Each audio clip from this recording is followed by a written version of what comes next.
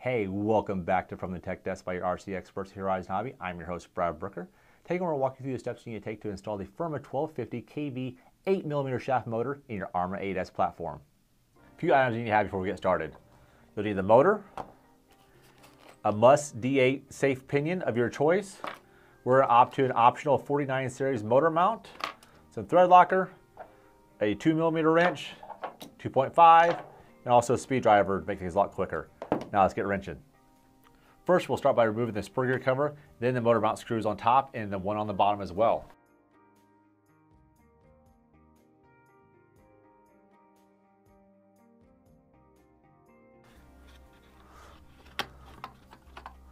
Once you slide it out of the actual motor mount, we'll go ahead and pull off the wires as well.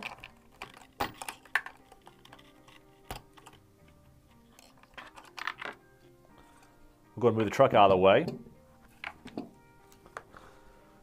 Let's go and get the pinion gear off. Go and loosen it up first.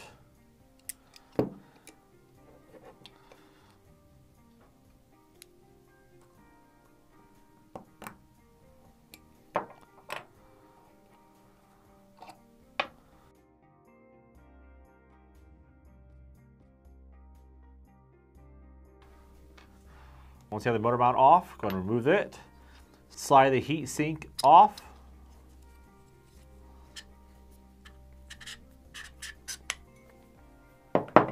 Grab your new motor.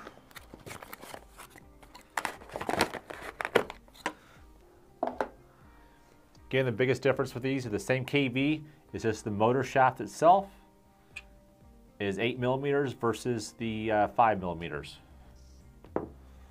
Go ahead and slide the heatsink back over the motor.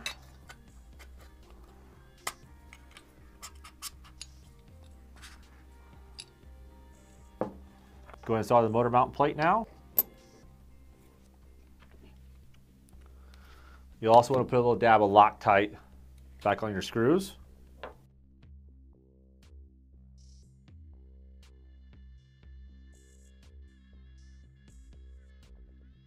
Now it's time to install the safe D8 pinion.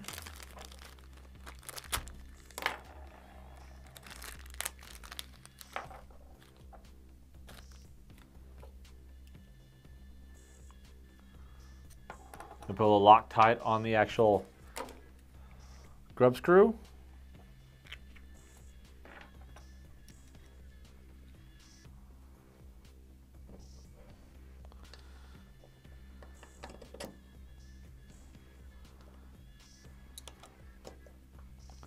Go and tighten everything up. Install the snap ring.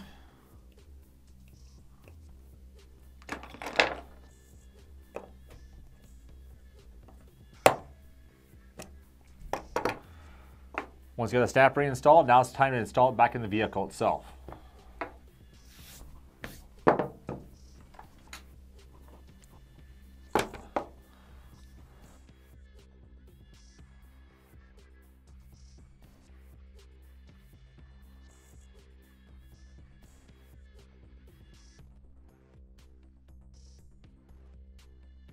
Now it's time to get the gear mesh right.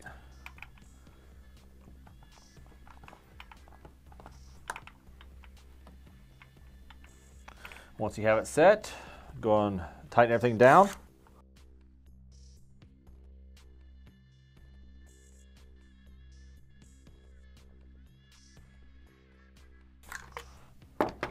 Now it's time to install the motor wires. Make sure you have them plugged in correctly, 8A, B2B, C2C, so on.